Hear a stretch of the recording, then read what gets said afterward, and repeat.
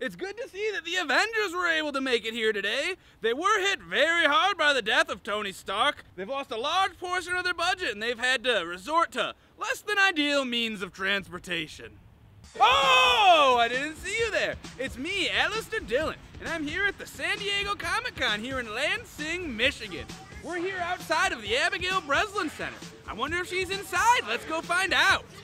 Right behind me is the hero of the Hudson, the famed Captain Sully Sullenberger. Famously rescued a bunch of people from geese on an airplane.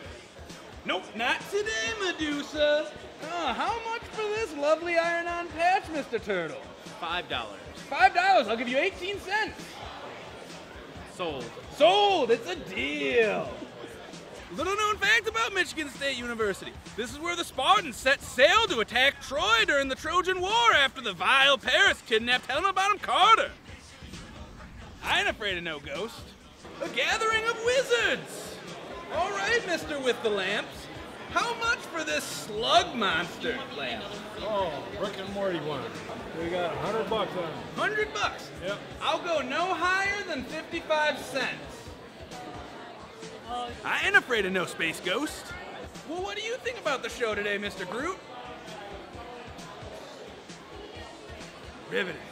And here we are at the world famous Three Wise Men Media Media booth.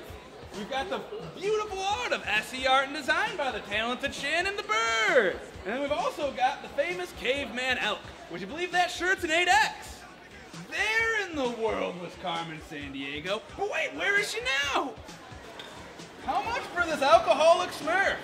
Two dollars and fifty cents, sir. Well, I won't go any higher than 15 cents.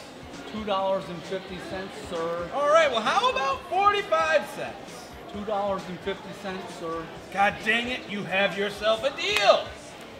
Have a look at my favorite statue in all of Lansing. The birth of famed basketballist Earvin Magic Johnson. A lot of people didn't know that he emerged from a fallen oak tree after it was struck by lightning. And then he got the ace. How much for this fluffy dog book? These are only fifteen dollars. Only $15. Well, I won't go higher than 65 cents. How do you feel about that? Can you break a twenty? I can. Part of the deal. Well, that'll have it here in the San Diego Comic Con in Lansing, Michigan. I made some new friends, outsmarted a ghoul. We met a hero in the flesh, but we never found Abigail Breslin. This has been Allistair Dylan. Good night and good luck.